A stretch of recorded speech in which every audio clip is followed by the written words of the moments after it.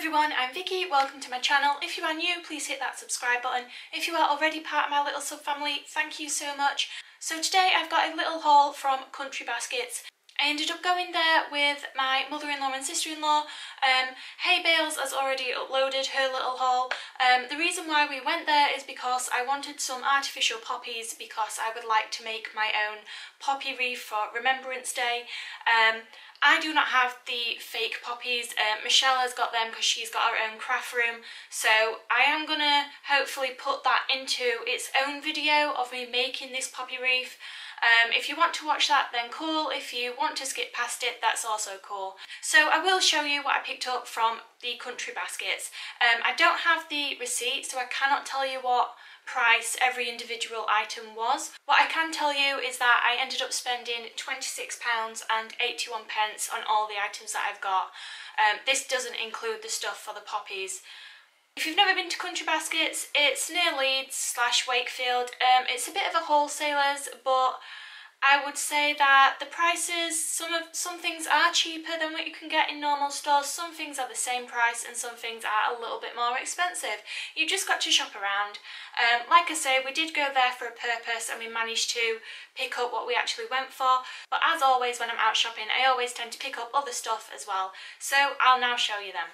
There wasn't really a lot of stuff for autumn, um, but there was so much stuff for Christmas, so I ended up picking up these um, four red huge baubles. Um, they're a really good size but these are for outdoors. So this is why I wanted some big ones just to put them outdoors on the tree that we have at the front of our garden.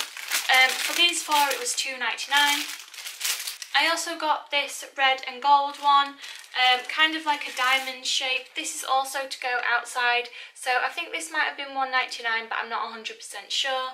And again, for Christmas to go outside is these six baubles. They have like shredded tinsel inside them, so a pack of six in gold. Sticking with seasonal, I'm just going to move on to this heart. Um, this is going to be decorated for Valentine's Day, so in February I'm going to have this decorated um, to hang up on my wall or my door. I just thought I would continue with the theme of decorating the house for a certain occasion.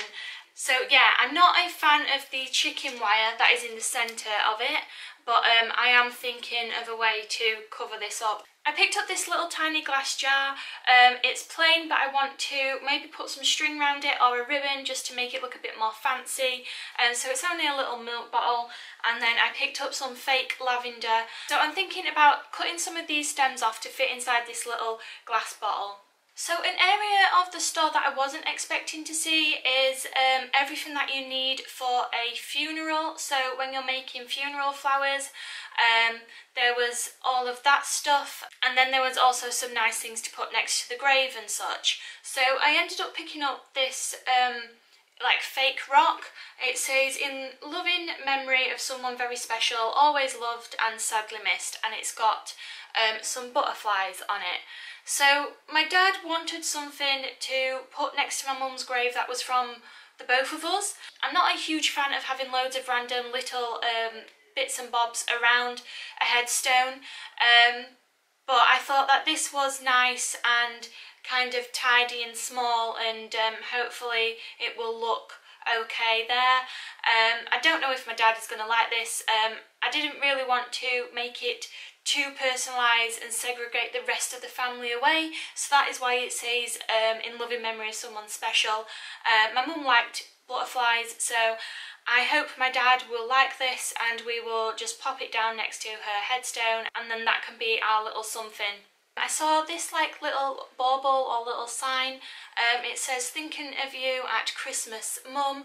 Um, so I just thought this would be really nice for me and Dan to put on our Christmas tree. I did plan on picking one up for my sister in a heart shape that's more plain because my sister has more of like a modern tree.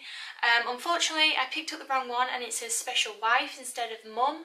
Um, so I'll see if my dad wants this one um, and I'll just have a look around for another one for my sister. And the last item is something dog themed. Um, the R has rubbed away a little bit while it's been in my bag so I'll just have to get a, a pen and just rub that back in or something. Um, but it's this sign that says, you got a letter today, it tasted important. Now, Charlie can't get to our mail, but if he could, there would be nothing left of it. He would rip it to shreds.